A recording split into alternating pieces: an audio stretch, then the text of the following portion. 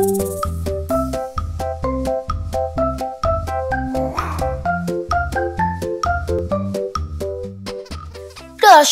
আসসালামু আলাইকুম রহমতুল্লাহ বরাকাত আমি সৈয়দ আরফাবদুল্লাহ কাছে ও দূরে যে যেখানে থেকে আমাদের দেখছেন অথবা পরবর্তীতে দেখবেন কিডস ক্রিয়েশন টিভির কিডস টকের পক্ষ থেকে আপনাদের সবাইকে জানাই শুভেচ্ছা ও অভিনন্দন।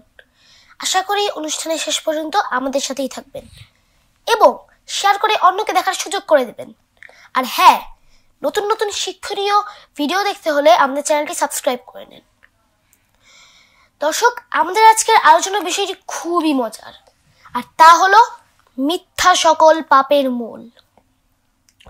প্রিয় দর্শক, এই বিষয়ে আলোচনা করার জন্য আমাদের সাথে স্টুডিওতে আছে বরাবরের মতোই দুজন ছোট্ট বন্ধু।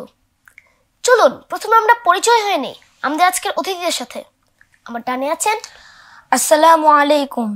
আমি আল আরাফ আমি গ্রেড ফোরে পড়ি। মাশা আল্লাহ এবং আমার বামে আছেন আসসালামু আলাইকুম। আমি আব্দুর রহমান হাদি আমি ষষ্ঠ শ্রেণির ছাত্র। দর্শক আমরা জানি মিথ্যা বলা মহাপাপ। সকল পাপের মূল বলা হয় এই মিথ্যাকে। দুঃখের বিষয় হলো আমরা তাও মিথ্যা কথা বলি বা মিথ্যার আশ্রয় নিয়ে থাকি। আপনার কাছে জানতে চাই আমরা এত মিথ্যা কথা কেন বলি? ধন্যবাদ আপনাকে। খুবই চমৎকার একটি টপিক আসলে আমরা আমাদের নৈতিক দুর্বলতার কারণে আমরা মিথ্যা বলি বা মিথ্যার আশ্রয় নিয়ে থাকি। আমি মনে করি মিথ্যা বললে আমি জিতে যাব, কিন্তু মিথ্যা বলে কখনো পার পাওয়া যায় না। আসলে এ বিষয়ে রাসুল সাল্লাহ আলাইসাল্লামের এর একটি হাদিস উল্লেখযোগ্য। আর তা হলো হজরত আবু হুরায়রা রাদিয়াল্লাহ তাআলা আনহু বলেন, রাসুল সাল্লাহ আলাইসাল্লাম বলেন মুনাফেকদের তিনটি নিদর্শন।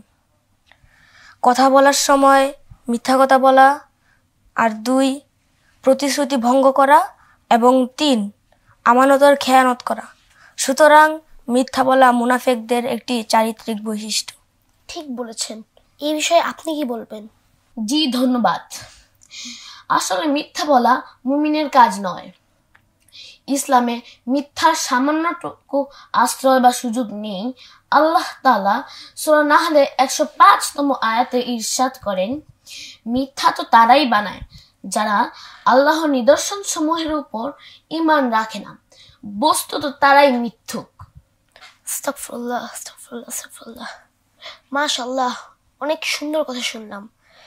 দেখুন, আপনি যেমনটি বললেন, ইসলামে মিথ্যার কোনো স্থান নেই মিথ্যা বলার পরিণাম সম্পর্কে মহানবী সাল্লাহ সাল্লাম তার দুটি হাদিসে বলেছেন। উভয়টি বলেছেন সুনানে আবু দাউদে। তার একটি হচ্ছে, ওয়াইলুল্লাযী ইউহাদ্দিসু ফায়াকরিবুল হাকাম বিহ। ওয়াইলুল্লাহু সুম্মা ওয়াইলুল্লাহু। ওই ব্যক্তির জন্য ধ্বংস যে অনিবার্য, যে ব্যক্তি মানুষের মাঝে মিথ্যা কথা বলে, দুষ্টামি করার জন্য ও মজা করার জন্য। ওয়াইলুল্লাহু সুম্মা ওয়াইলুল্লাহু তিন তিনটি বার মহানবী সাল্লাহ সাল্লাম বলেছেন। মহানবী সাল্লাহ সাল্লাহ আলহি আসাল্লাম আরেকটি হাদিসে বলেছেন, ওই ব্যক্তির জন্য আমি জান্নাতের সেন্টার পয়েন্টে মানে মাঝখানে আল্লাহ সুবহান হুয়া তাআলার কাছ থেকে একটি প্রাসাদ পাইয়ে দেওয়ার দায়িত্ব নিচ্ছি।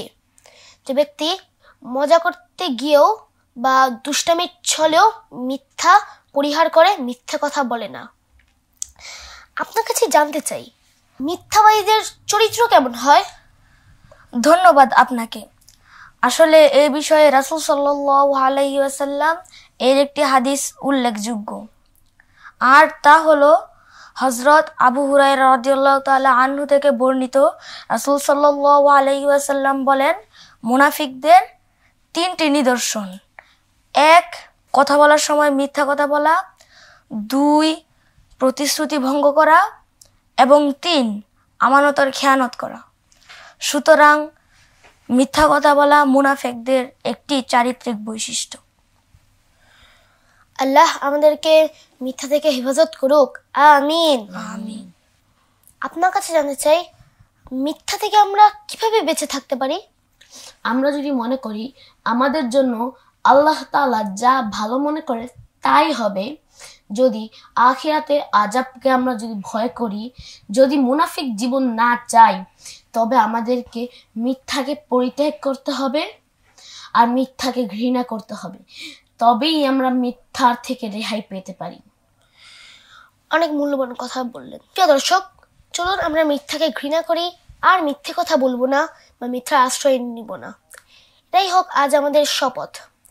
ধন্যবাদ জানাই আজকে আমাদের আলোচকদের তাদের মূল্যবান কথা বলার জন্য ধন্যবাদ জানাই দর্শকদের আমাদের সাথে এতক্ষণ থাকার জন্য।